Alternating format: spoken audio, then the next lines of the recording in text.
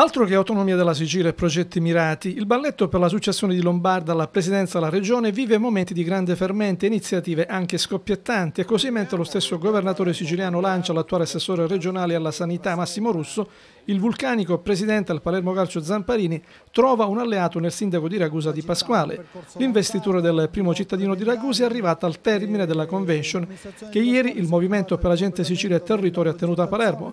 Per Zamparini c'è assoluta identità di veduta e con Di Pasquale, anche se il primo cittadino ibleo si è schernito preferendo non sbilanciarsi, ma facendo però capire che dietro ad un progetto serio non potrebbe dire di no.